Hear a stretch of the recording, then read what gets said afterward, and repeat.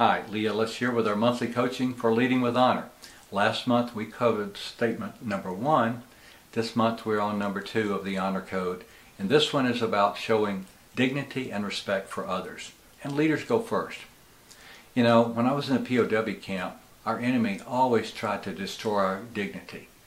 Everything they could to make us feel like nobody and nothing and we weren't cared for, they tried to do that.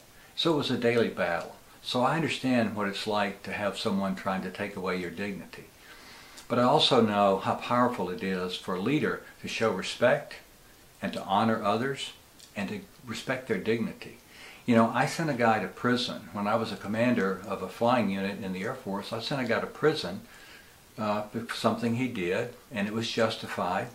But I remained uh, faithful to him as a person I showed him respect and dignity. I visited him in prison before he actually went off to Leavenworth and uh, stayed connected to him throughout that time because I felt like that was important. I was his commander and in many ways I believed in him, but he had made a mistake and he had to suffer the consequences. Likewise, I had to fire a flight commander that worked for me that was a good friend and he was not a bad person. It's just he was not fulfilling the role professionally as it needed to be done, and that was going to cause problems for everyone, so I had to remove him. But we still stayed friends, and I really respected him, and he actually did a really good job in his next role. Now, I do run into problems though because I'm very impatient. So even though I believe in this simple principle of showing dignity and respect for others, sometimes when I run short on patience and someone who is providing a service to me is really not very conscientious and not doing a good job, uh, that stirs up my angst a little bit, and that's when I get into a struggle. I've had to fight off gossip, but more importantly, probably judging others is another big area.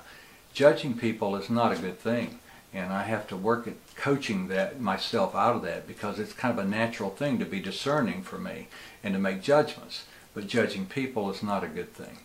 So I have learned to be more intentional I have to coach myself to be intentional in certain situations about showing dignity and respect for others.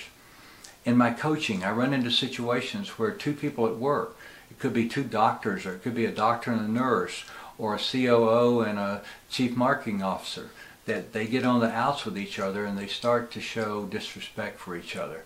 That's a dangerous situation, whether it's at work or at home. So being intentional about protecting the dignity of others and looking out for them, showing value and honor toward them is so powerful and important. Now, all of these things, when you show dignity and respect for others, you build a relationship, you build trust, and all of those are so important for leadership. You're building influence.